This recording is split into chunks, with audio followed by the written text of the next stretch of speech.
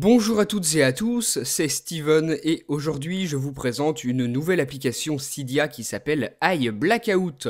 Comme son nom l'indique, cette application elle va vous permettre de blacklister certains de vos contacts pour que vous ne puissiez plus les contacter.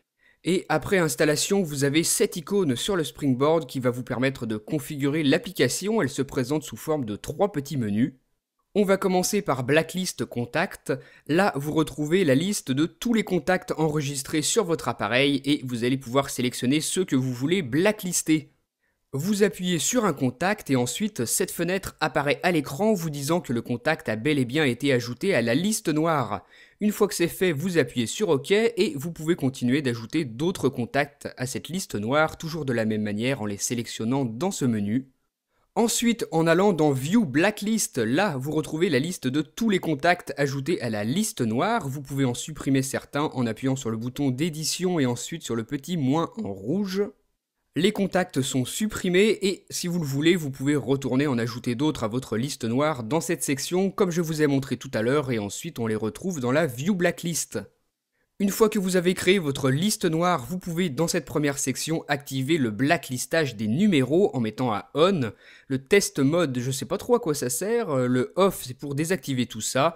Donc en mettant à on et ensuite en allant ici, vous allez pouvoir régler le délai pendant lequel vous ne pourrez pas contacter euh, les contacts qui ont été placés sur liste noire.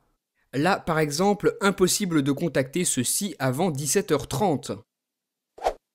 Maintenant, si j'essaye de modifier l'heure, je ne peux pas, l'accès m'est interdit car il n'est pas encore 17h30 comme je l'ai configuré. Même chose pour voir les contacts de la liste noire, je n'y ai pas accès.